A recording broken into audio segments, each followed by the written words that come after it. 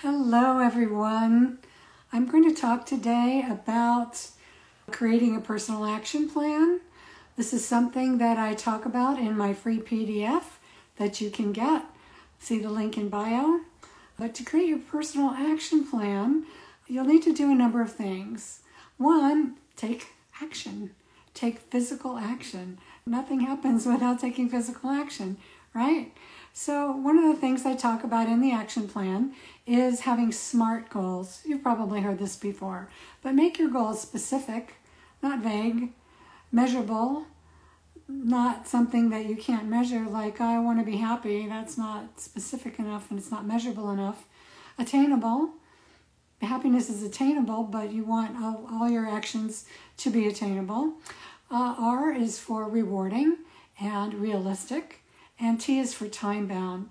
And that means we need to have a deadline. We need to say, okay, I'm going to get this done by the end of the day today, or the end of the week, or two days from now, or whatever. It has to be time bound, some kind of time limit on it. Otherwise, you know, it isn't that going to get done, right? All right. It's important on your healing journey to ditch your trauma to stop your emotional reactions. How do we do that? How do we stop being anxious and nervous and feeling like a victim and feeling apathetic or feeling angry, all those emotions that come up, how do we stop doing that? Well, we talk about that in a number of ways. So, you know, doing EFT, tapping on different endpoints of the, the meridians, saying certain words in a positive way, or that it's okay that you're feeling the way that you are. EFT is a really a powerful way to stop your emotional reactions, and there are many other ways that I'll talk about in my course, Essential Mastery, but you can get a little bit more about that in the Ditch Your Trauma PDF. Get help. It's really important to get the help that you need, and that means get support from family, friends, support groups. One of the most wonderful things about my course, Essential Mastery, is that there is a support group that you'll join for a whole year. So you'll be taking the journey of healing from your emotional traumas or physical traumas with other people, other women who have done as, that as well.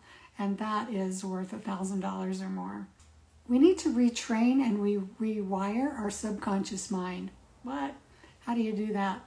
Well, our subconscious mind is a collection of all the things that have ever happened to us. It's our memory bank, and it's not going to go away. The only way it's going to go away is if you take a chunk out, which, nah, we're not going to do that unless you have a traumatic brain injury, and, and the results are horrendous for that.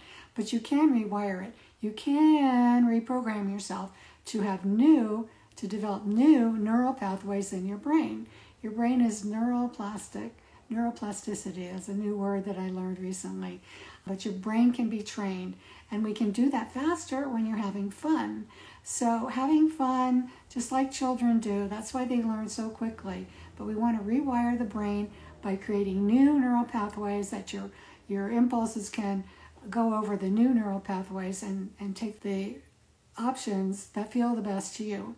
So, we'll talk about rewiring your subconscious mind. Pretty cool stuff. Talking about the mental how do we create a new mindset? There's a number of ways to create a new mindset. You know, to create new ways of thinking, you know, taking a look at your old belief system. Do those old beliefs really work for you?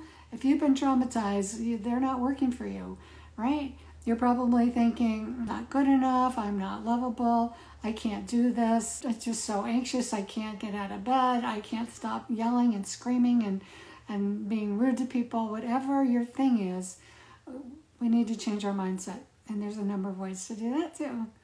And then the most important thing, as far as I'm concerned, is connecting to your higher power. To me, that's God. I call it the creator, I call it source energy, infinite intelligence, whatever you want to call it, doesn't make any difference. Uh, in the 12 steps, higher power is a very important part of recovery. Uh, they talk about having the group as being part of your higher power if you can't get behind a supernatural higher power. But I don't I don't know why people can't get behind a supernatural higher power because something created this fantastic universe that we live in that's unfathomable how huge it is. And that's just the physical universe. Each one of us, each person, each of the billions of people, what, 8 billion people now, who live on the planet, are a universe unto themselves. and how many billions of people have come before us that aren't alive today. Anyway, I'm just saying that to remind you that the universe, the multiverse, is, is multifaceted, multidimensional, and huge beyond our mental comprehension. So, connecting to that, bringing that source energy into our lives, getting into the vortex, like Abraham Hicks talks about, to create this like energetic frequency that goes out there and brings us what we want in our life. And what do we want in our life? We want happiness, we want calm, we want peace, we want good relationships. At least that's what I want. If you want those things too, if you want to ditch your trauma, you want to get rid of all those emotions that are plaguing you and keeping you stuck in wherever you are, then download my free PDF, Ditch Your Trauma Today. All right, until next time, take care.